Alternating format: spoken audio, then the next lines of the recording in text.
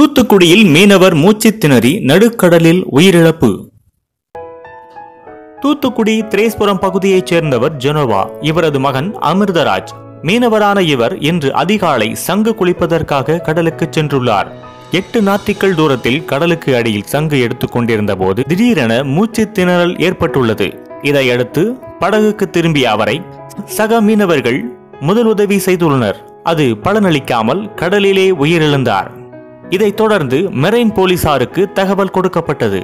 உடலை கைப்பற்றிய போலீசார் பிரேத பரிசோதனைக்காக தூத்துக்குடி அரசு மருத்துவமனைக்கு அனுப்பி வைத்தனர்.